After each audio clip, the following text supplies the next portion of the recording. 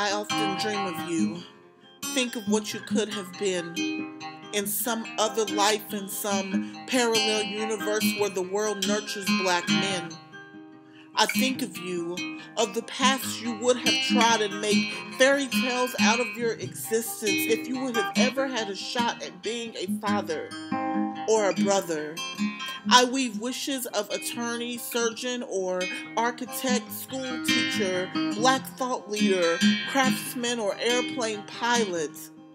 There are still images in my head of you coaching the Little League team, of family living, vacations, and visiting grandchildren, lives lived with purpose, lives live with freedom, lives live with beautiful lives that never stood a shot at achieving. I dream dreams for you, create stories for you of what it would be like just to be without a consistent target on your back I mourn journeys for you.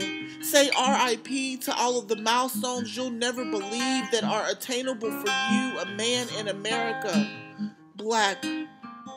I hold a space for you, an insurmountable place for you. Between the love that exists in my heart and the unyielding pain that encapsulates my soul, I hold a space for you, a miracle place for you and I'll carry that with me wherever I might go. I'll hold dreams for you. I'm the only one who can hold dreams for you. I weep for you, down, down deep for you, and on days like this when my thoughts and feelings go places that I can't control, when I get deep in my subconscious, mourning all the lives you'll never live, when I think why bother and consider the fear and pain that your name gives, I hold still for you feel for you, and remember that everything in this life is but a test.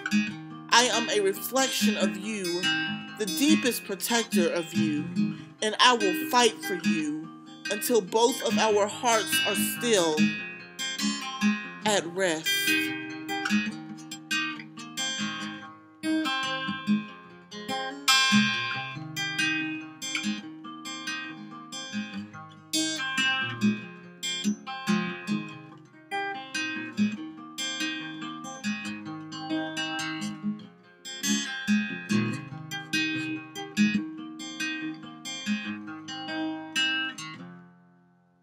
Mm-hmm.